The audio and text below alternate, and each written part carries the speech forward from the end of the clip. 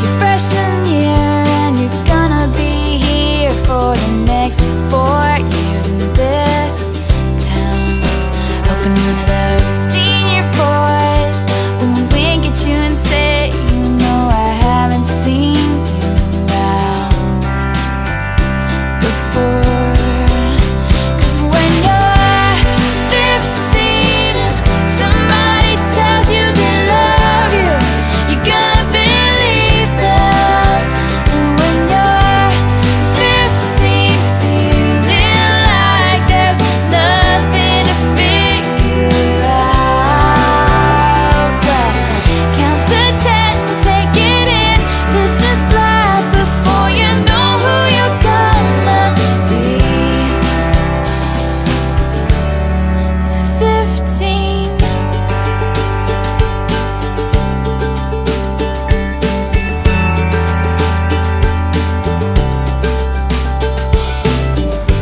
sitting cloud